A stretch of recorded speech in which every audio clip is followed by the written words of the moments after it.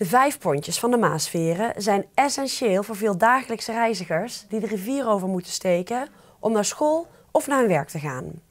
Gemeente Os stopt nu met subsidie voor de pontjes en het Provinciaal Verenfonds is inmiddels op. Gemeente Westmaas en Waal tast nu in de buidel om het bestaan van de pontjes veilig te stellen. Als gemeente heeft West Maas en Waal sowieso een budget waar ze gebruik van maken om de veerpontdiensten in te kunnen zetten. Mensen moeten dagelijks de rivier meermaals oversteken.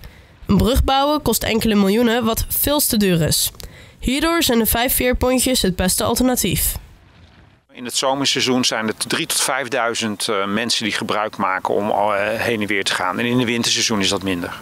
Het Verenfonds is vooraf opgezet in Gelderland om de tekorten bij de veerdiensten te compenseren.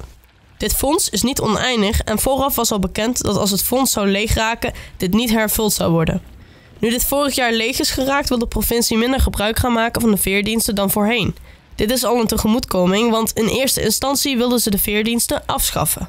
Nu geven ze wel een beetje, maar veel minder dan voorheen.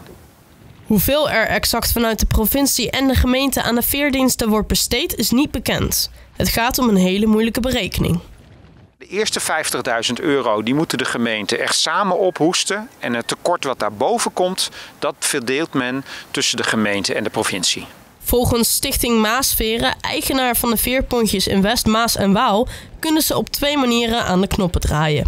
De eerste manier is de tarieven fors verhogen. Dit heeft niet een voorkeur. De tweede manier is dat ze minder gaan varen, al heeft dit ook niet de prioriteit.